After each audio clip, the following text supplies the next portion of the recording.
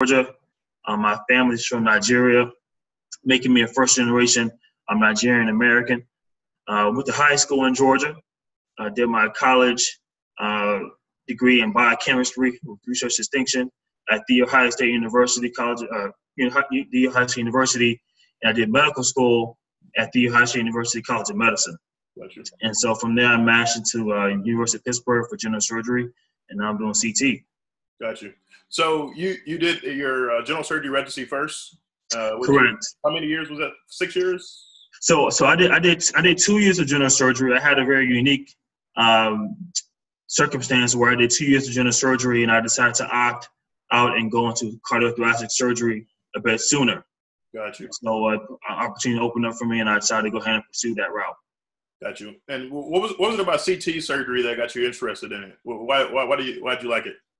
That's a good question. Um, so actually, when I was in high school, my best friend actually died of what we call HOCM or mm. hypertrophic um, obstructive cardiomyopathy. So he actually died of sudden cardiac death um, following a wrestling practice uh, when I was a ninth grade, yeah, ninth grader. And so that really, you know, sparked my interest in the heart.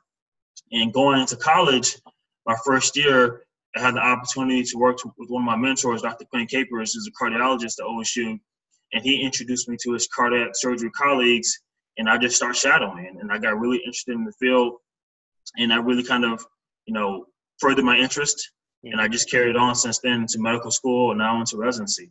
Okay. And when I think about busy specialties, uh, surgery is one in general, but cardiothoracic is probably the, probably the busiest people in the hospital. Yeah. Uh, how, how uh, true is that? How busy is your schedule? What is like a day to day for you? Yeah, no, we, we run around a lot. You know, usually a typical day, uh, you know, I'm doing cardiac. Typical day, we start, you know, rounds at six o'clock in the morning in the ICU. Um, the first case starts at 7, 10, 7.30. Mm-hmm. But usually the night before, we prepare for the cases. So you may have four cases, and so you read extensively on the patients, um, read up on how to do the case. Mm-hmm. Usually you make it a routine to document how you do the surgeries depending on the attending that you're with. So you go back and look at your notes, mm. you know, so you can catch the nuances and the details. But we start making incision at 7:30 a.m. Mm. And so the cases can last anywhere from two hours to 14. Um, depends on the nature of the disease. It depends on any any surprises that we see in the OR. And the average day would end around maybe 7:30, 8 o'clock, um, depending on what's left to do in the hospital. Uh, from the thoracic side, more or less the same thing. And so your average day can be about, you know, 14, 16 hours on an average weekday. Usually outside of the hospital, you know, you're expected to read. So, you know, you have to stay on top of the literature reading articles, reading your textbooks, going over your notes, mm. you know, pulling away what you learned from that day and documenting areas of weakness. And so, you know, you always find a way to top, stay on top of your game, even outside of the hospital. Got you. And how many hours is that per week? Would you say it has to be over 100 hours, right? yeah, it is within an 80 hour work week. it's, it's, it's, 80 hours, so yeah, it's it's 80 hours. Um, and Ben, what type of surgeries are you performing for? Uh, you perform or open heart surgery, and what, what right. other surgeries do you perform? Yeah, so so we range from open heart surgery, so that can be you know what we know as bypasses or CABG, um, as we talk about in the field, um, aortic valve replacements, mitral valve replacements. Mm. Uh, sometimes patients come in with aortic dissections, so you have to replace the aorta. Wow. Um, that's mostly cardiac, and on the thoracic side, we do lung resections for lung cancer. Mm-hmm. Uh, my hospital is one of the uh, top uh, hospitals for esophageal disease, and so we perform what we call minimally invasive esophagectomies, or we literally resect parts of the esophagus and reconstruct it. Wow. So we also do lung transplantation, heart transplantation, uh, you know, tracheal disease management. So it's a plethora of uh, diseases that we really address inside the chest, and sometimes we have to go into the belly as well. Um, you know, to use sometimes intestine to reconstruct the esophagus. That's you. And I always wondered about this. I'm a I'm a uh, orthopod, so I, I yeah. fix bones. But yeah. how do you suture and uh, how do you work on a heart that's beating? So that's a great question. So we have different devices that allows us to keep the heart stationary oh, okay. for a brief second to sew the coronary vessels. Hmm. Um, but yeah, we do something called off pump coronary artery bypass, and so the heart's literally beating. But in the moment while you're sewing it, we have devices that keeps the portion that you want to sew stationary so that you can sew. Mm. Uh, but you're always beating against the clock, no pun intended. You know, heart surgery is a very you know time conscious yeah. um, specialty, so you know you're always you know going against the clock, but you but you train long enough to get proficient at that kind of uh, that kind of work. Got you. And can you talk about the process that it takes? You have to do four years of college, four years of medical school, mm-hmm. and then there's a couple different paths you can take to become a CT surgeon. That's correct. So college, usually four to five years, um, with a pre-medical focus. Um, I think some people don't realize that you can special, you can major in anything in college and still go into med school as long as you have the pre-medical track. Yeah. And so that requires like biology, chemistry, uh, physics, and then from there you go into medical school, which is usually four years. Mm-hmm. Um, you do your first two years, which are usually your preclinical years. Uh, you take your step one exams, which is first of many boards, and then your last two years are mostly clinical focus. And so usually by the end of your third year, you want to have an idea about what you want to do from a specialty standpoint. And so um, by that time, going into your fourth year, you're doing away rotations in your specialty of choice. And usually for cardiothoracic surgery, you can pick a couple routes. The traditional route is going into general surgery, which is usually five to seven years. Mm-hmm. And then after that, you specialize in your fellowship. In this case, would be cardiothoracic surgery, which can range from two to four years. Mm. Um, cardiothoracic surgery has multiple fields. There's transplantation, there's pediatrics, and so you can go as far you know far as you want um, with additional training. Um, what's been new is what they have called the integrated program, in which you can come out of medical school and go directly into CT surgery. So there's over 20 programs in the country that have that route. Um, very competitive. Most places take one candidate a year or one to two candidates a year, but you go directly through your CT training um, within six to eight years. Wow. Um, and then you can also specialize in congenital or get additional training if need be. So that's those are the two more popular tracks. Other programs have what we call four three, where they mix general surgery and cardiothoracic. But you know that can that's something I can talk to people about offline. But those are the more common tracks to go into the field of cardiothoracic surgery. And speaking about how competitive it is, what kind of uh, recommendations or tips you can provide to someone who's interested in either pre-med or medical student? They're applying for residency. What, what would you say? How can they stand out and be successful in getting into that program?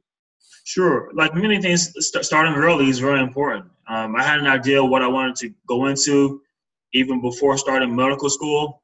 Mm-hmm. So I wasted no time and working with um, my department and you know the divisions at my university to to spend time with the CT surgery attendings there, learning learning their schedules, spending time with the residents.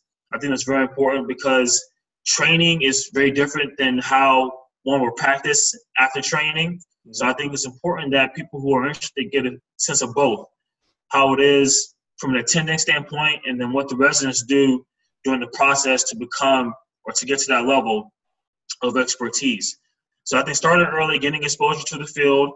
I think you know most people have a research background, mm-hmm. and I think as a medical student, you're naturally a scholar, and so I think it's important to further your academic curiosity by doing research of some sort, whether it's at the bench or clinical or a social project, something of research interest. And I think most people who go into CT surgery have that interest. So I think getting published working in the lab, those things allow you to stand out.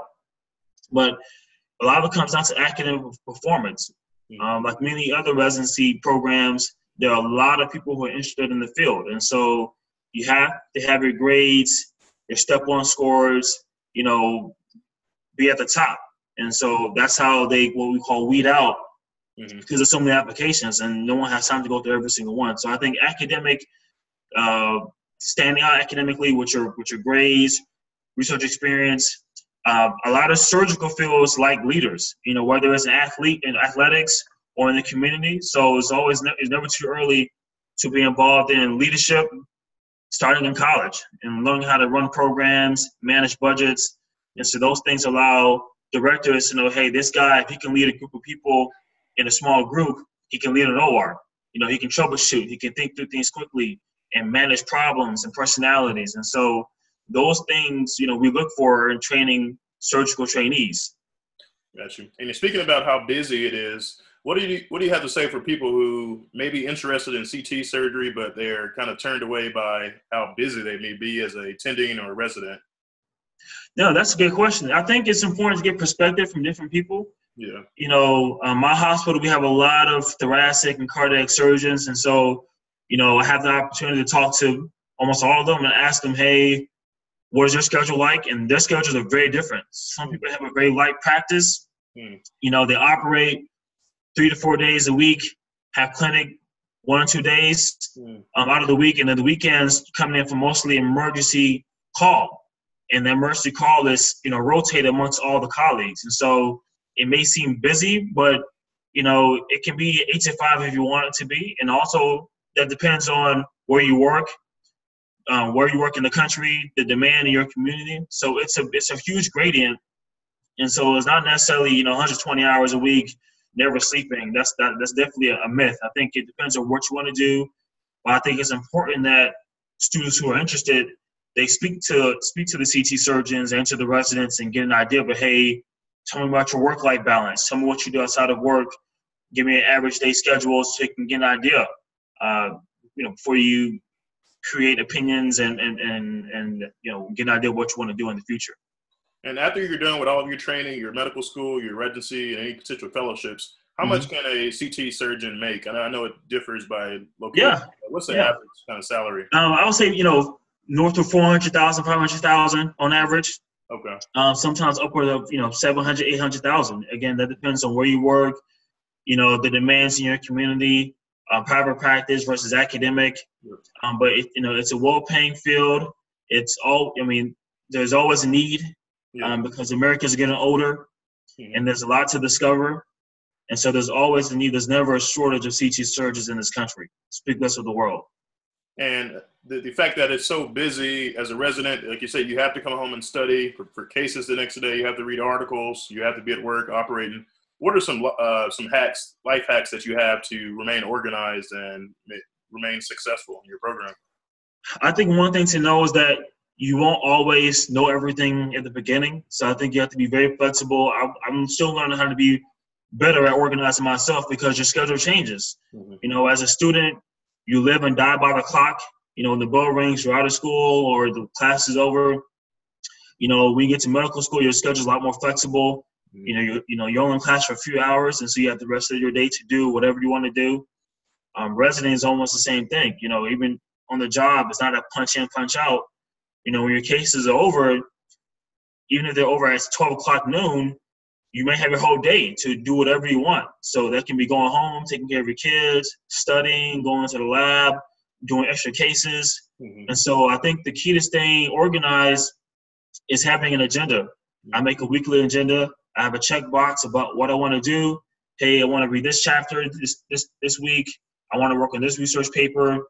Okay, outside of work, I need to do groceries. I need to do my dry cleaners. I need to purchase my airplane ticket to go home for Christmas to see my family. Mm-hmm. Oh, my fiance is on call this week, so I should take her out for a date this week. So I think having an agenda and for me, writing things down really make things small and less overwhelming for me. Okay. And what other advice would you have to uh, pre-med students out there, or just anyone out there? What kind of advice would you would you give them? So I think the, the, my biggest advice is keep an open mind. I know everyone says that, but I think it's important as an academic and as a scholar to always learn as much as you can. Even if you want to do CT surgery or pediatrics or ortho, learn as much as you can from everybody because the window gets smaller and smaller as you progress because your time becomes more limited. And so, um, knowledge is out there. It is free. I think you have to be very hungry. You have to learn how to ask questions. And again, those are skill sets. Learning how to ask a question to get what you want is a skill set. And so you have to really be ambitious uh, and really stay hungry, stay motivated. Sometimes it's tough to come home and read a chapter. Well, like I said, staying organized is key. So maybe you don't have to come home and read this entire, you know, 20 chapter book in a day. Space it out. Make time to have fun and enjoy your friends and family because again, you have a busy schedule, but there's people who may be supporting, you know, depending on you, and, and they they look to you for advice. And so, staying grounded and staying humble really kept me going as a resident because being busy can always be an excuse. And so, um, but it's very possible. It's been done before. It's a very achievable goal. But I think the key is staying hungry, happy, and staying organized. Yeah, that, that's exactly what I usually say is that people before me did it, you know, I can also. So, yeah. Uh, three last questions. I asked this about my guests. Uh, you can give a one to two word answer. Sure. Uh, what is your favorite thing to do outside of medicine? I love sports. I'm, I'm a big NBA fan. Um, I like uh, music. I like jazz. I like some John Coltrane. I like hip hop. And so anything that involves me watching a game, I love going to live sports games of any kind. Uh, you know, like I said, sports and music. So whatever, you know, any of those things, I'm in concerts, going to games. I love doing those things outside of uh, working. Yeah. And spend time with my friends and family too. Who's your NBA team? Oh man, so I'm a Kevin Durant fan. Oh so, man, I get that all the time. People say I look like Kevin Durant. Yeah, I'm, I'm, I'm, I'm, a KD fan, man. So I'm pulling, I'm pulling for him to get that second championship this year. Got you. Um, what is your favorite part of CT surgery? What do you enjoy the most about it? It's it's a th- it's a thinking man's game. Yeah. I mean, you have to really come in prepared. You know, everyone puts focus on the surgery, mm-hmm. but most of the brain work happens before the operating room. Mm. Uh, and again, it goes down to being organized. You have a CT scans, you have a patient charts. When you see your patient in clinic, the disease is there, but you have to treat the person as a whole. Mm. Um, because these people have lives, they have jobs, they have families. And so before you want to make this big incision or give them radiation, you know, they may be 40 years old with three kids and they may be the only parent. So you have to really take into consideration these things before you commit someone to surgery. So I think the the amount of brain power that's needed, the cerebral aspect of prepping the patient for surgery is actually one of my favorite components of the field. Gotcha. And what is your favorite food? Favorite food, man. that's that's tough. Uh I'm Nigerian, so I love me some jollof rice. Jollof rice, all right. Cool. Yeah, yeah. But I like spicy food in general. And so I like I like goat, chicken, I like curry, I like duck, I, I like everything, man. yeah, I love, I love Nigerian food. um, if, if, anyone wants to reach out to you or ask you some further questions, how can they get a hold of you? Sure. So you can follow me on Instagram, um, Suave underscore MD, S U A V E underscore MD, or you can email me um, at C E K E K E at gmail.com and, and I'm, I'm pretty responsive. Description. Yeah. Yeah, go, man, thank you so much, man. You're a big inspiration to uh, all of us out here. Like I said, I've never um, actually I've only met a few uh, cardiothoracic surgeons, so it's really inspired to see you in that position. Uh, but thank you so much, man, for coming on and uh, joining us tonight. No, Dr. Webb, it was a pleasure. Thanks for having me on, man. And uh, if I can be of any service, let me know. Absolutely. And for everyone else, thank you guys for watching this video. Make sure you subscribe. New videos coming every week. You don't want to miss these videos. Stay tuned. All right.